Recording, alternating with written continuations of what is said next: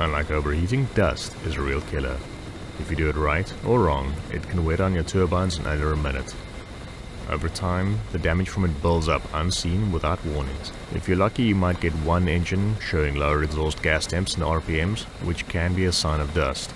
But usually, it just gives instant critical engine vibration in one or both engines, which can degrade over time to engine loss and fire.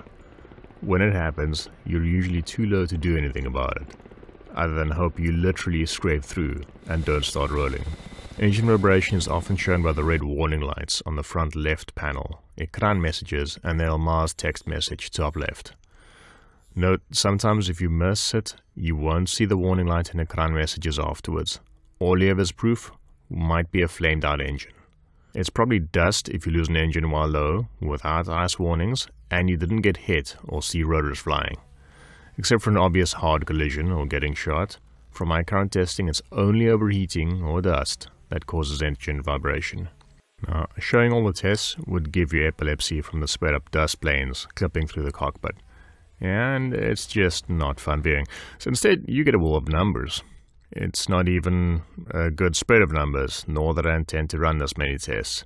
But I was looking for patterns, trying to see if I could suss out what killed me faster, and then see if I could repeat those results consistently. That failed.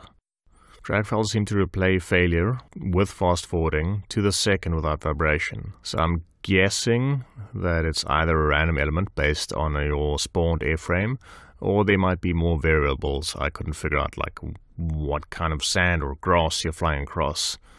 So don't take this table as an absolute guide to formulas of when you will die from dust.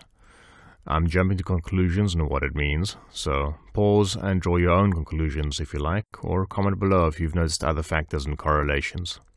Some isolated factors I've tested which I don't think affects dust wear is ambient dust haze or temperature, side banking, rudder, collective power, compressor outlet air pressure, wind, how far above sea level you are while still in the dust, going up or down slopes, hopping into or out of the dust effects, doing full collective power vertical takeoffs and landings. None of them seem to induce dust failure earlier.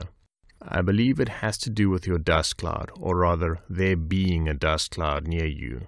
The closer you are to your dust, either by being slow or more importantly low, or both, the faster you wear on your engines and you'll lose an engine. If you're completely stationary, then the dust cloud stops forming and you're safe-ish again, so you should be able to remain the ground at any throttle setting for a very long time before it affects you. Somewhere between 75 and probably 116 kilometers per hour, you become mostly immune to dust, even when at 4 meters above ground. Similarly, somewhere above 12 meters, you become mostly immune regardless of speed. Although at 12 meters it took 8.5 hours of flight in those conditions to cause vibrations. Now there is another wrinkle. I've read some comments that the engine anti-icing's bleeder to the front also activates dust protection, or maybe it should. However, I found at 2 meters or less it accelerates engine vibration, sometimes after increasing temps to non-critical level. With engine anti-icing, if there was dust cloud at 2 meters above ground, it's killed my engine in 47 seconds. If you're not in dust, or maybe 4 plus meters above the ground, anti-icing doesn't seem to accelerate the vibration. Now the fix for dust is simple. Flip the dust protection switch down. The PZU directs some bleed air back to the front of the engine and vents out some of the dust particles collected in the separator. Dust protection's Bleeder makes your engine lose a bit of oomph and generates a little more heat.